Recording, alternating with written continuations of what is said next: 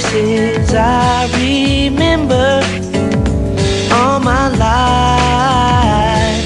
Though some have changed, some forever, not for better. Some have gone, and some remain.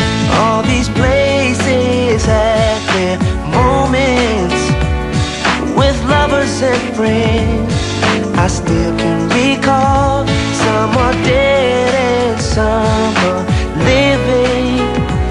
In my life.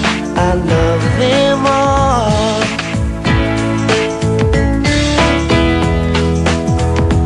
But of all these friends and lovers, there's no one compares with you.